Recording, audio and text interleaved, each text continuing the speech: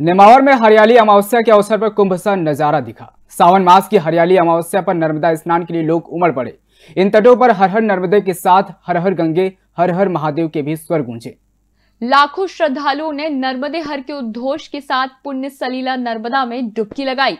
नर्मदा घाटों पर सावन मास की हरियाली अमावस्या के पावन अवसर पर देर रात से ही पैदल आने वाले श्रद्धालुओं का जमघट सड़कों पर दिखाई पड़ने लगा।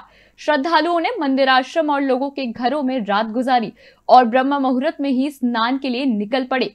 पानी की बौछार के बावजूद सुबह से ही नर्मदा भक्तों का मेला सा लग गया।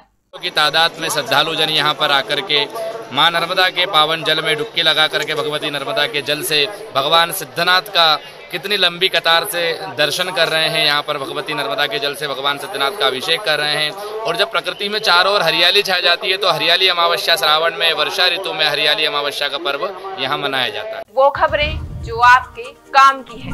वो खबरें जो आपके लिए ज़रूरी है। हर आम और खास से जुड़े मसले। हर मसले का सटीक विश्लेषण। हम करते हैं सत्य का अन्वेषण।